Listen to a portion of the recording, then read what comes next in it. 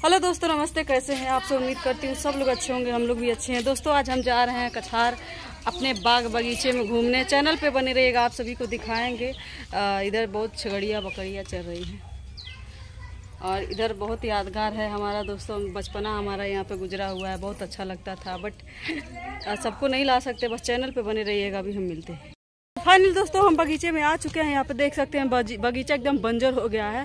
सारा पेड़ यहाँ से काट पीट के ख़त्म कर दिया गया है। हम लोग जब यहाँ पे आते थे तो एक भी जगह खाली नहीं था। और बहुत अच्छा लगता था। हमारा एक यादगार पेड़ यहाँ पे था, आम का पेड़, जो कि इतनी छोटी छोटी फटता था। उस पेड़ पे मैंने चढ़ के आम खाया है। ऐसे इसको दबाती थी, पका था छिप छिप के खाती थी, कोई रखा था तो मुझे देख भी नहीं पाता था। मैं बहुत चोट थी। मतलब बगीचे के मामले में वैसे ही बगीचा अपना ही है दोस्तों, और लेकिन उधर का पार्ट दूसरे का था।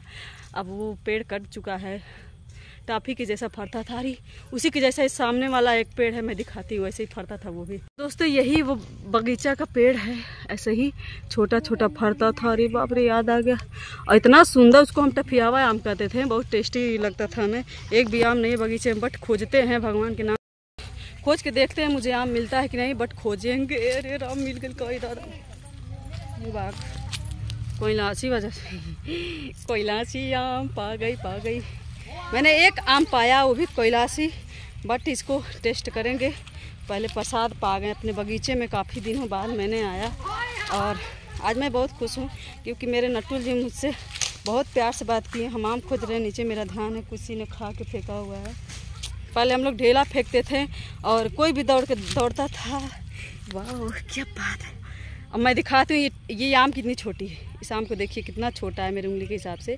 और ऐसा ही आम वो पेड़ जो मैं बताया जिसमें मैं चोरियाँ करती थी, चोरियाँ करके खाती थी, वही आम का पेड़ था। ऐसे ही फरा करता था और इस आम को पा के मुझे, मेरी आदत ताज़ा हो गई।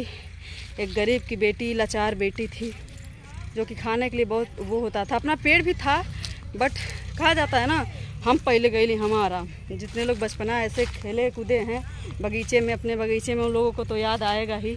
और मुझे बहुत अच्छा लग रहा है यहाँ पे आने के बाद। एक दिन और आई थी बट पूरे बगीचा नहीं घूमी थी। वहीं से वीडियो शॉर्ट और बनाई उधर वो जो देख रहे हैं, और वहीं से हम वापस चले गए बट आज हम खोज रहे हैं, आज घूम रहे हैं। और ये जो पार्ट, ये जो ज़मीन पार्ट दिख रहा है, ये पूरा हमारा था।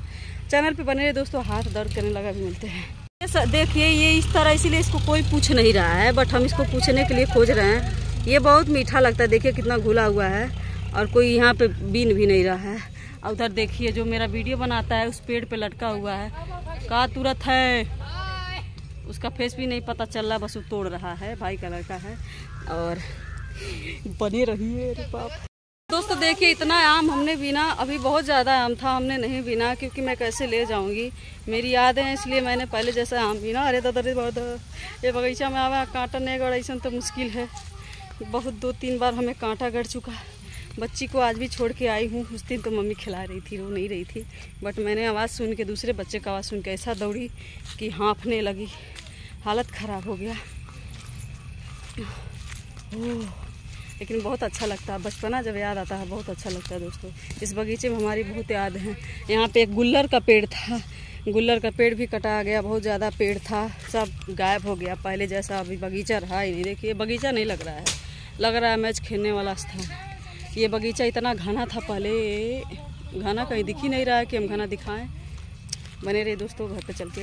मिलेंगे या रास्ते में मिलेंगे या यहाँ पे आम तोड़ रहा है अनुराग।